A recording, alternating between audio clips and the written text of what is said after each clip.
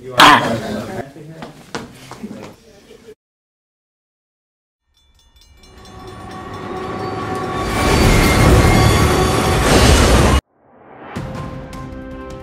got more word on that runaway freight train in rural Pennsylvania. The train AWVR 777, otherwise known as 777, left Fuller Yard in northern Pennsylvania and no one was on board. Now, let's get a look at the sign at hand. They say that the engineer made an error when controlling the train. Before leaving the cab, he had intended to slow the train down, but once he realized his mistake, the train was already going too fast for him to climb back on. We are now being told by the railway company that this employee will be held accountable.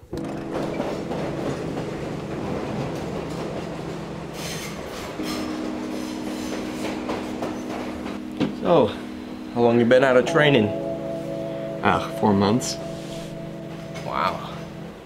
Full on yellow vest rookie. How long have you been railroading? 28 years. Wow.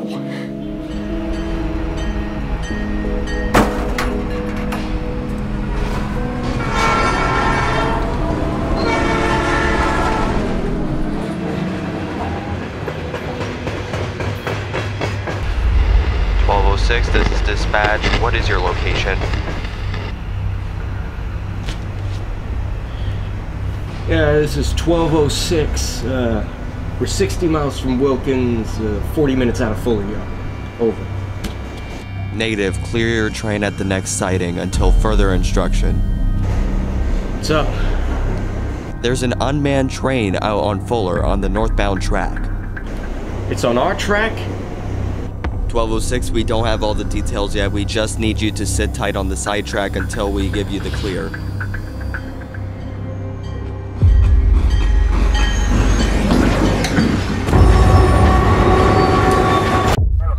Standing here in central Pennsylvania where this train got away.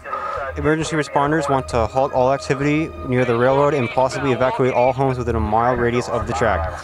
There are thousands of gallons of dangerous chemicals on board, but we are still awaiting word on that. Looks like they are putting a train in front of 777 in an attempt to slow it down.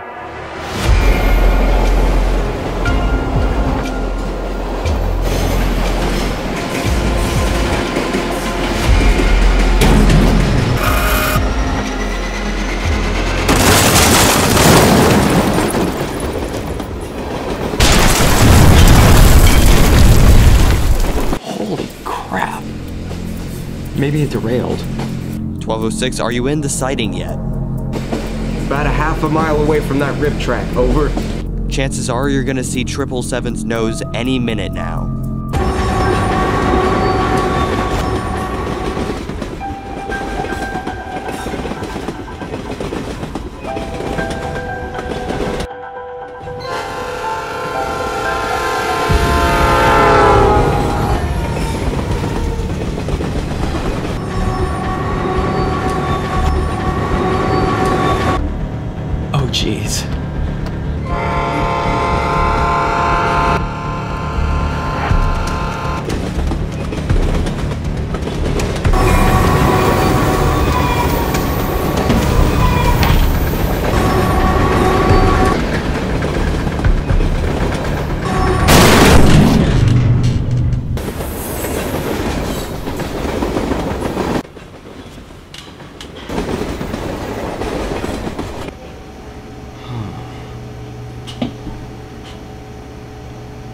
I have an idea.